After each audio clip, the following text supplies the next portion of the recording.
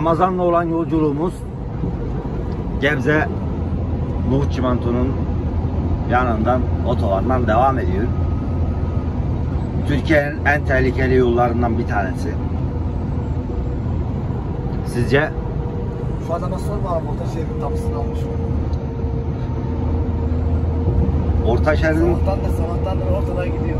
işte abi yani küçük araç olsun büyük araç olsun böyle ortadan gidenler var ya bir de yol istediğini vermiyorlar ya yol verdi lan.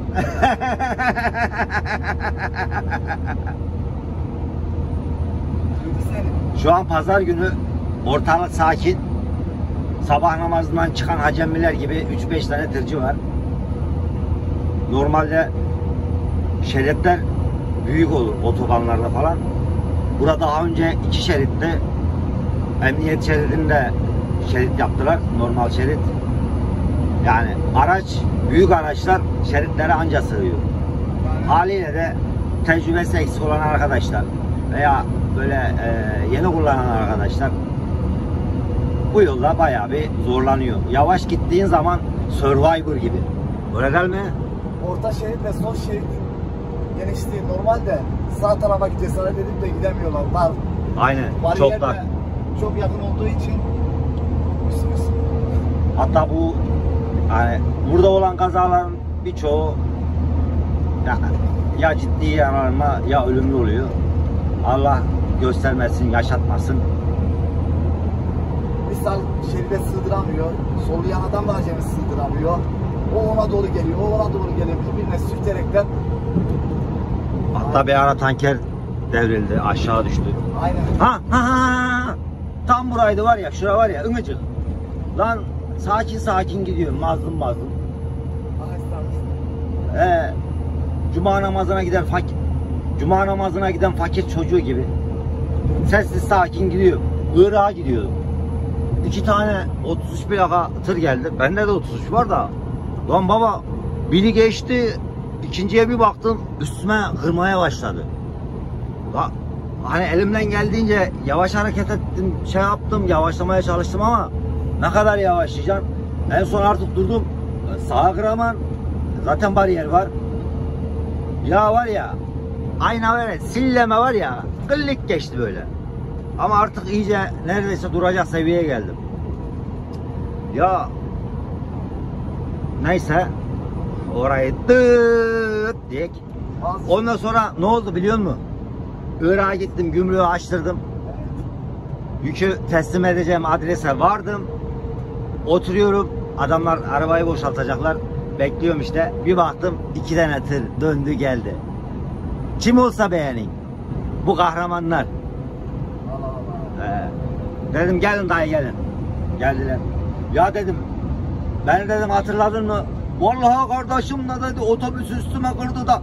Lan dedim otobüs üstüne kırdı da sen benim üstüme niye kırıyorsun dedim. O senin üstüne kırıyorsa sen de onun üstüne kır. Benim suçum günahım ne? Ben evde oturuyorum televizyon izliyorum. Öyle diyor ya. Ondan sonra beni bir tane yemek kaşığıyla kandırdılar. Hani yemek yaptığımız büyük kaşıklar var ya. He. Yani Bazı şoförler burada mazot attırmaya çalışıyor. 75-75 gidiyor. Ama bilmiyor ki kazaya sebebiyet veriyor. Tabii. 90-95 iteleyeceğim. Bak çok güzel bir konuya değindin. Şimdi tamam e, yakıt şeydir ama bazı yerler var, bazı yollar var. Orada hızlı olmanız lazım. Onlardan bir tanesi de burası. Adam yavaş gidiyor. Arkasına sen takılıyorsun. Senin arkana o takılıyor. Onun arkasına o takılıyor. Adam önünü göremiyor. Şeride sığdırmaya çalışıyor. Yani bak nasıl yollar ve bu üç şeridin dolu olduğunu düşün. Adam orta şeride geçiyor. Bir de şu var abi. Ya tamam bak orta şeritten gitsin. Küçük araçlar, tırlar orta şeritten gidin. Sıkıntı yok. Yalnız aynaya baktığınızda arkanızdan bir araç geliyorsa herhangi bir araç özellikle ağır vasıtaysa ya lütfen sağ şeride geçin. Ha geçemiyorsanız küçük araçlar bazen sola geçiyorlar. O da yanlış da. Ama ikinci şeridi bırak ben sorulamamı yapayım. Ya tırlar şöyle böyle. Otobüsler şöyle. Ya olabilir. Hepsi aynı değil ki. Adam kurallara uygun tır kullanmaya çalışıyor. Aynen öyle. Yani sağ taraf boş, selektör yapıyor. Şeridin yarısına kadar çıkıyor. Bana bakıyor, gördüğü halde geri şeridi kapatıyor. Ben biraz daha yaklaşıyorum. Hiç iskilini de bozmuyor. En son çareyi ormada buluyor. Yani ya şimdi ben hiç mi hata yapmıyorum? Ramazan hiç mi hata yapmıyor? Elbette ki hatalarımız oluyor. Mesela geçen ben araç solladım. Orta şeride geçtim. Dalmışsın. Ondan sonra bir baktım aynadan biri dıdıt etti. Aynadan derken yani dıdıt etti ben aynadan gördüm. Ondan sonra hemen sağ tarafa geçtim. Adam geçerken dıdıt dedi. Teşekkür etti. Ben de ona dıdıt dedim. Teşekkür ettim. Yani, Yani selamlaşmak varken niye sövüşecek? Niye küfür edecek? ne yapa? Sövüşecek. Nereden aklına geldi sabah sabah? Mercimek çorbasına kola döken adam gibi. tamam ben gene susarım. Elmanı çekerim de. Evet. Ortega başlayacak şimdi senin sürdüğün arabanın dingilinin. Yok. Yapıyorsun abi onları açtık artık. Yani ben inan sinirlenmiyorum. Hani hareket yapılmadı, sövülmedi, şey yapılmadı sürece artık alıştık şeylere bunlara. Yani sinirlerimi bozmuyor yani o tür şeyler. Yani aşina olduk diyorsun. Tabii. Ha şu da var. Şimdi adam mesela orta şeritten gidiyor. Tamam mı? Bak bunu özellikle eee seni uyarıyorum. Biliyorsun hem yaş farkı hem e, meslek icabı senden tecrübeliyim. Tabii ki abi. Ustalığım bana. Şimdi adam orta şeritten gidiyor. Sağ şeritte de tır var. Ortadaki yol vermiyor. Kesinlikle korna çalarak veya tehlikeli hareket yaparak adamı veya bayansa bayanı o aracı ürkütme, korkutma. Neden biliyor musun? Daha dün benim başıma geldi. Adam orta şeritten gidiyor. Ya ben üçüncü şeride geçmek istemiyorum arkadaş. Elimden geldiği kadar da çok zor durumda kalacak. Geçmiyor. Ya selektör korna korna korna korna. Ondan sonra biraz böyle haşince şeyce böyle biraz hareket yaptılar biliyor musun? Lan öyle mi öyle. Ondan sonra bunları sıkıştırdım iyice. O e, payasa giderken o pet var ya. Evet. Hatta sana dedim şuradan ben su almaya giriyorum dedim. Oraya bir durdum. Onlar da benden önce gelmişler yakıt almaya. İçinde dört tane zebellah var. Hayırdır lan sen mi zaman korna çalıyordun dedi. Yok abi dedim o ben değildim dedim ya. Evet abi. O dedim bizim öbür araba. Bizde dedim bu arabadan 5 tane var dedim. Ne yapak baba dayak mı yiyecek sabah sabah? Gel vites. Yani küçük araçlara saygımız sonsuz. Küçük araçlardan ne de olsa ehliyetini yeni alan acemi baş tacıdır. Onlar anlayışı Tabii. gösterirler. Bizim bu ağır hasta şoförlerine ne oluyor? Bak o konuda da ben sana şunu söyleyeyim mi?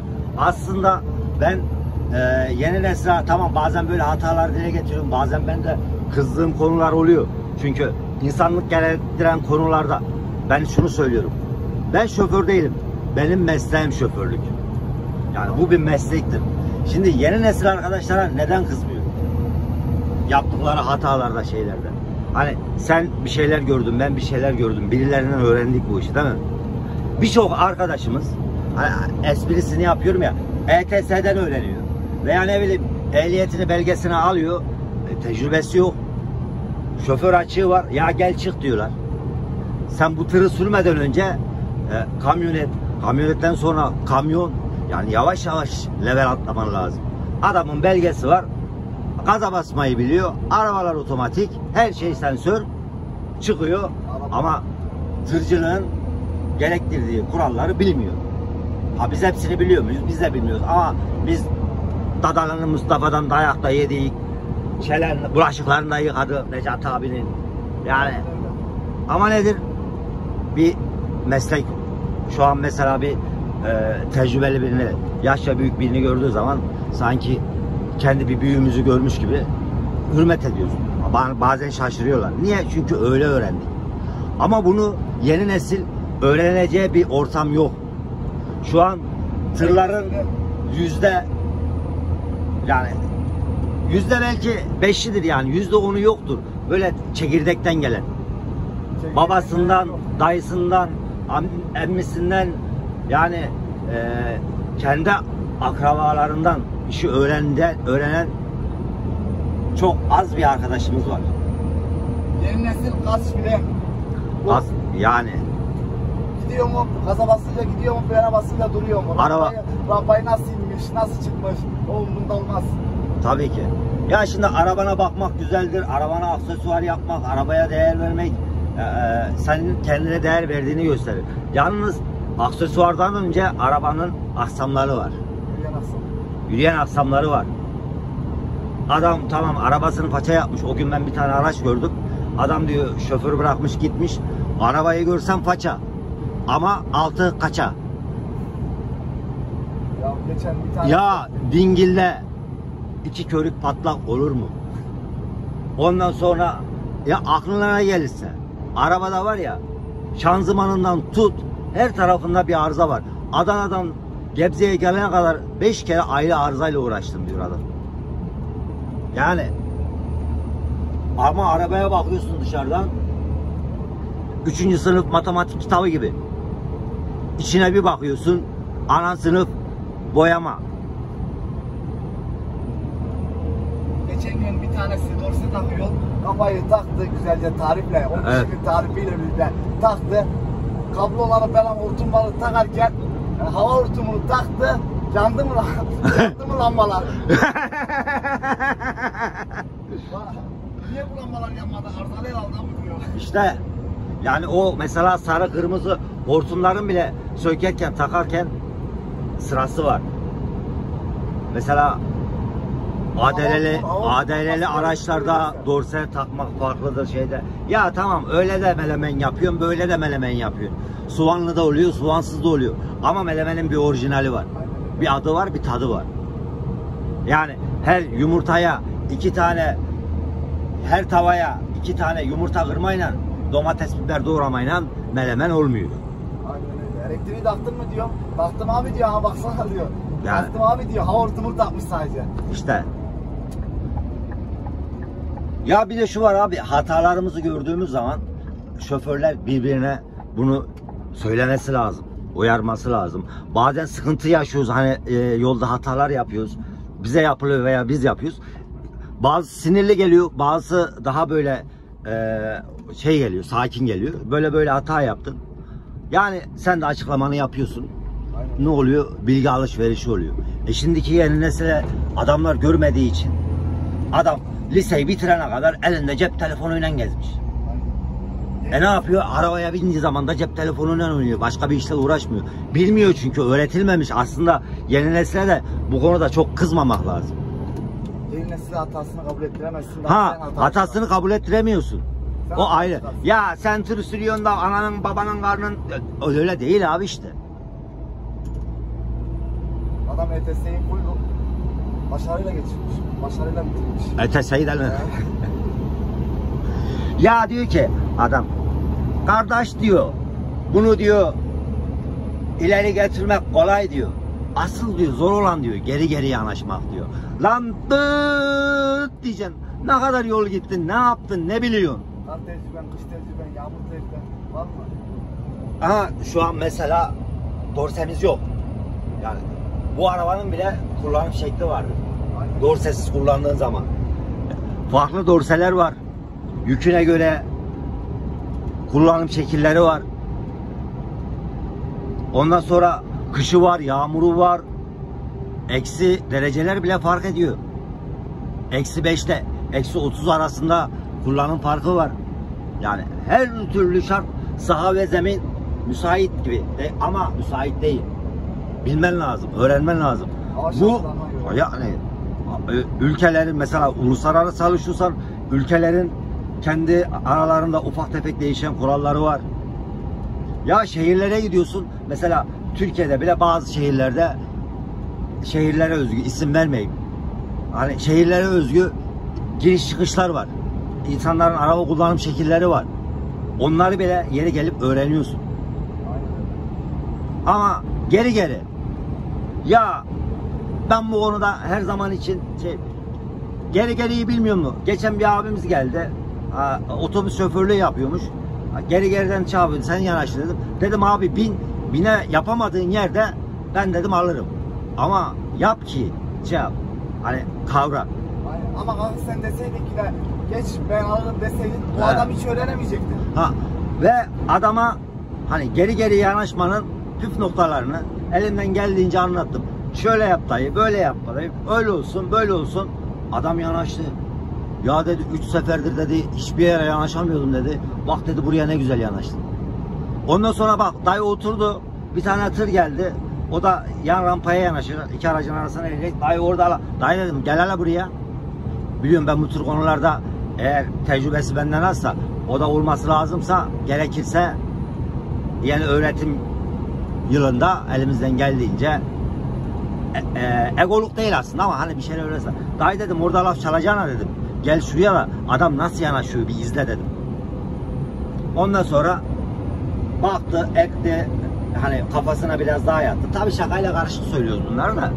Ya genç arkadaşlara daha rahat oluyor. Ya kimileri gençlerden var, geri yetmelerden. Evet. Ya bana ne anlatıyorsun ben benim bildiğim var. Kardeş. İşte o o işte kazaya sebebiyet verip eceliyle Aynen. değil.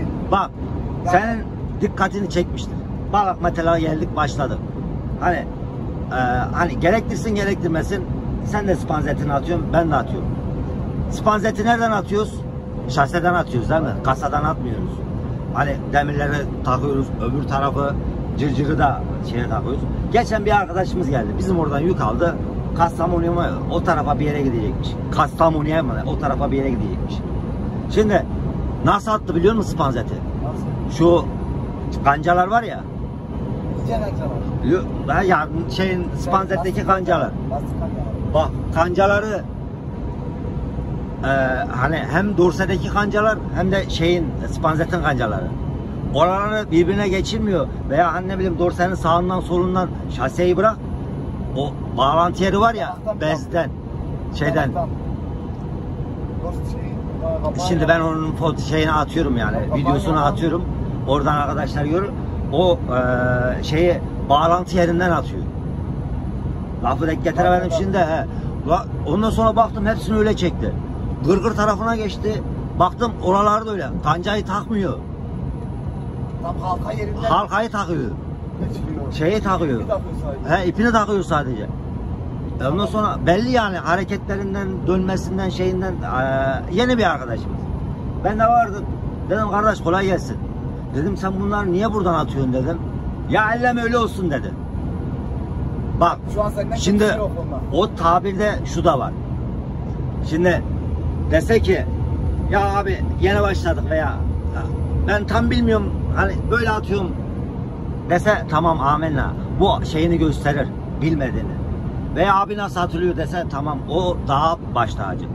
Şimdi ya bırak bu da böyle olsun böyle olsun demesi yani ben bu işi çok iyi biliyorum. Aynen öyle. Güzel kardeşim diyecek. O nasıl çadır lastiği diyecek. Yani bir de hani spanzeti de kancasını takmıyor ha. O şey yerini takıyor. Bağlantı yerini. Yani diyeceğim abi ukalalık yapmayın. Ha öyle yapmanız gerekiyorsa mesela hangi konu olursa olsun onu öyle yapmanız gerekiyordur. Açıklamanız açıklamasını yaparsın. Yani senin kendi canın bu kadar değersizse milletin canını niye riske atıyor? Aynen öyle. Hani canına önem vermiyor. Milletin canına Bak saçım kekildi mi lan? Biz videonun girişini yapmadık. İşine ekledik. Yok lan eklemeyek bunu direkt atacağım hiç kesmeden tekelediğim mekelediğim yerleri. Bak hala ayna nerede? Ee, yok lan ayna diyorum sen de emniyet temel alışkın değilsin ya işte alışkın değilsin ya pot kırma. Ben video bitti sandım. Yok. La açık verme açık verme. Ee, ha, bu ne kardeş? Otobüs mü bu? Abi Ha buradan gözüküyormuş. yani Şimdi kurallara uyalım. Sen şöyle beni bir tut. Ha. Merhabalar Ortega yollarda takipçileri. Ortega yollarda Ramazan'la İstanbul yolundan saatte 88 kilometre hızla devam ediyor. Şu an biz Ramazan'la normalde Balak Metal'da çalışıyoruz Adana'da. Hatay, Osmaniye günlük akşam evimize varıyoruz. Şu an o sistemdeyiz. Bugün pazar Bir video için. Mehmet kardeşim istirahata ihtiyacı vardı. Biz de dedik ki hadi bir İstanbul'a gidelim gelek dedik. Akşam çıktık İstanbul yolundayız. Dorseyi takacağız geri döneceğiz. Değil mi? Evet.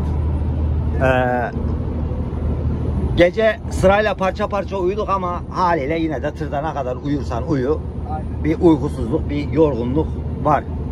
Kolayla ondan sonra aspirin, gripin enerji içeceğiyle bir şeylerle ayakta durmaya çalıştık.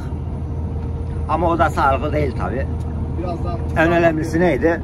Hani uykumuz olmasa bile geçiyoruz yata, yatakta uzanarak istirahat ediyoruz. Birbirimize can yoldaşlığı. Tabii ki. Birbirimize muhabbet, hoş beş, araç hakkında, birbirimize bilgi aktararak birbirimizi taşıyoruz. Yani kısmet olursa da Balak Metal'de gidip gelirken yaptığımız işlerden, gittiğimiz yerlerden, arkadaşlardan aa ama var ya felaket malzeme var ha, o yolda. Yani öyle insanlar, öyle şeyler var ki Kaynak güzel. kaynak güzel. Şimdi diyorlar ki işte Avrupa'ya yok gitmiyordun gidemiyordun. Lan yurt içinde bıraktım. Sadece Adana içinde çalışıyor. O gün arkadaşım biri diyor ki işte eee, bir iş teklifinde bulundu. Sağ olsun hani arabası arabası kıyak parası. Ya dedim abi ben yurt dışını bıraktım bak yurt içinde bıraktım. Benim amacım akşam oldu mu evime gideyim. Hesabı. Ne sürdüğünün önemi yok. He, ne sürdüğümün önemi yok. Ne dedim oraya geldiğimde ilk geldiğimde de benim için marşa bastığım zaman onun tır olmaz. Gerisi teferruat. Öylelikle başladık gidiyor. İnşallah pıttırmazsak pıttırmazsak balık metalde çalışmaya devam edeceğiz. Kayış yapmazsak Kayış atmazsak şanzımanı dağıtmazsak devam edeceğiz. Geleceğiz işte Ramazan'la. Bu ne? Şör. Allah canın almasın sıracalı. Ya, sen tır şoförü müsün? Üç, ilkokul üçe giden bakkala yumurta almaya giden çocuk musun? bizim yolu bıraktık bırakalı. Bizde bir haller olmuş. Değil mi? Tabii ki tırın içi insanlar istediği gibi giyinebilir. Önemli olan dışarıya çıktığın zaman bir camiayı temsil ettiğini unutmamak lazım. Bak hele diğerine bak. Sanki kendimiz çok dikkat ediyoruz. Tabii elimizden geldiği kadarlar. Evet, e, videomuzu kapatalım. Uzun zamandır video atmıyorduk. Aslında hiç aklımızda yoktu şu an video çekmek ama birdenbire kendiliğinden gelişti. Belki yanlış veya hatalı sizlere göre tabirlerimiz olmuş olabilir. Naçizane- Onlar da naçizane naçizane fikirlerinizi beyan edeceksiniz. Uykusuzluk, yorgunluk belki bazı telaffuzları yanlış yapmış olabiliriz veya anlatmak istediğimiz şeyleri anlatamamış olabiliriz. Ya illa şekilli konuşmayla olmuyor bu. Şimdi adam eline almış kamerayı, oğlunu, oğlunu da yanına almış, 2-3 böyle video çekmiş. Ondan sonra bir gün dek gelmiş, tır çekmiş, tıra özenmiş, ETS oynamış, tır şoförü olmuş. Ampulü tuttuğu zaman lambanın eline temas etmeyeceğini bil... Lan! Ana! Erkan Zey'den bahsediyorum lan. Adamın kralı ha. Erkan abiye de selam olsun. Tabi aramızda Erkan abiyle muhabbet olduğundan dolayı böyle az önce rahat konuştum. Devras sürüyor. Sürmü. Devras sürüyor Sen şapıtırım ha. Video video bayağı video ayağına Telede emniyet kemerini de bağladın. Beni konuşturma bak milletin içinde. he. Ben dellendirme. Ortalık 56 olacak. Ustamız. Yani buradan Erkan abiye de selamlar olsun. Gönlü güzel insan. Hani şu var. Adam tamam sonra- sonradan tır şoförü oldu. Hani bir mücadelesi var. Bir şeyler yapmaya çalışıyor.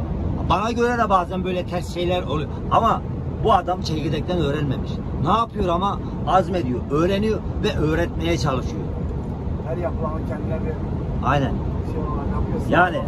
güzel bir örnek teşkil ediyor.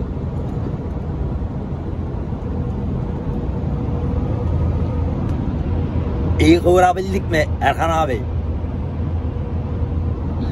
Evet, son sözlerini alalım. Evet, çok güzel söyledin. Konuyu güzel bağladın. Senden de bu beklenirdi zaten. Bizim ağır vasıta şoförlerine tek bir cümlemiz var. Evet. Küçük araçları sıkıştır. Alayınızın yolu açık olsun. Küçük araçları sıkıştırmayın. Landı. Lan az önce kendin niye küçük aracı sıkıştırdın? Sıkıştırmadım ki ben. Tırdı o. He, tır mıydı? Büyük araçtı. Önündeki küçük aracı sıkıştırıyor diye ben Ya, sıkıştırdım. Ben de bazen Yani küçük sıkıştırıyorum. araçlarda Ba- acemi olabiliyor, ehliyetini yeni almış olabiliyor ama tırda acemi olamaz ha. Hemşerim olamaz ya. işte olamazı e, ya acemi yok. olduğu zaman yani bu meslek yani bu iş mi? Tabii işte ki. acemi, acemilik mi olur?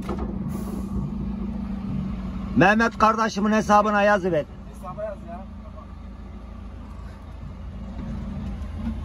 Hesapta kapandı ama. Ya bu ne arkadaş ya? 2022'deyiz. 2023'te İndirim aya aya insan göndereceğiz.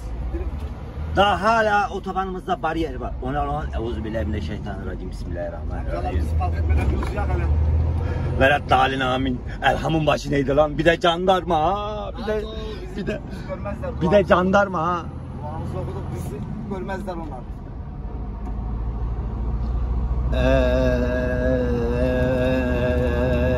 Eee, kafama vur lan takıldın.